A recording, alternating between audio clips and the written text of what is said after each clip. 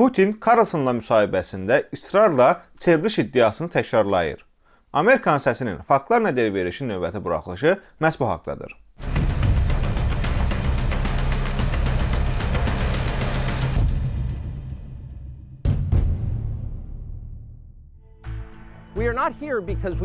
Keçmiş Fox News aparıcısı Tucker Carlsonun Rusiya prezidenti Vladimir Putin olan müsahibəsi 2022-ci ilin fevralında ölkəsinin Ukrayna işğal etməsindən sonra Putinin bir qərb jurnalistinə verdiyi ilk böyük müsahibəsi idi.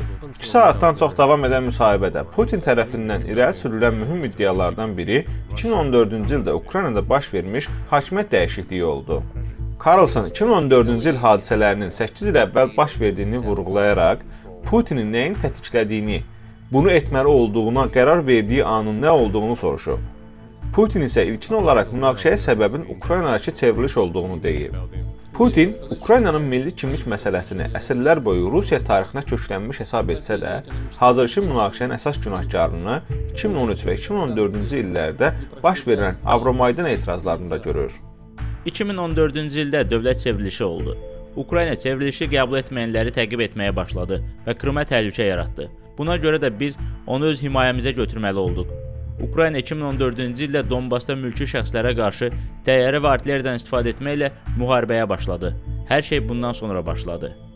Putinin 2014-cü ildə Ukraynada baş verən Avromaydan etirazları ilə bağlı iddiaları yanlışdır. İndi isə gəlin görək faktlar nə deyir. Ukraynada 2014-cü il çevrilişi olmayıb. 2014-cü ildə Kiyevdə baş verən hadisələrdə hərbiçilər faktiki olaraq heç bir rol oynamayıb. Ukrayna Daxili İşlər Nazirliyinin hərbi hissəsinə Kiyevdəki Maydan nümayişçilərinə kömək etmək əmri yox, onları yatırmağa kömək etmək əmri verilmişdi. Həmin bölmənin üzvləri etirazçılar tərəfindən kazarmada sıxışdırılıb və paytaxta çata bilməyiblər. Ukraynanın o vaxtki prezidenti Viktor Yanukoviç heç vaxt çevrilişlə əlaqəli olaraq devrilməyib.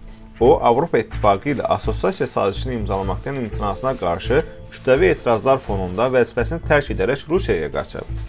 Kreml dəfələrlə 2014-cü ildə Yanukoviçin devrilməsini çevriliş kimi qiymətləndirib.